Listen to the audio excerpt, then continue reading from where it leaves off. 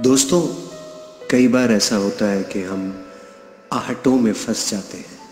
आहट एक किसी खास का एहसास होने का आभास होती है।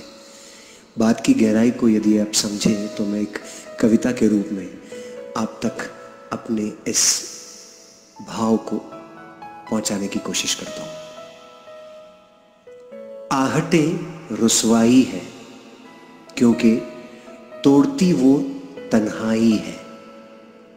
देर सवेर जब भी वो आती, दिल की धड़कने यूँ ही बढ़ जाती।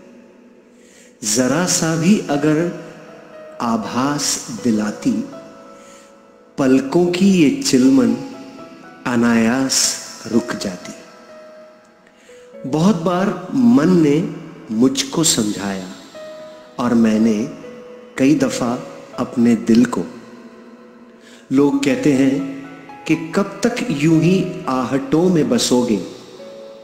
क्या वो अपनी दुनिया में खुश ना होंगे? हमने भी उन सबको गले लगाकर समझाया। हमें जैसे उनकी एहसास ने ज़िंदा रखा है, कोई तो एहसास आहटों का उनको भी खुशी देता होगा।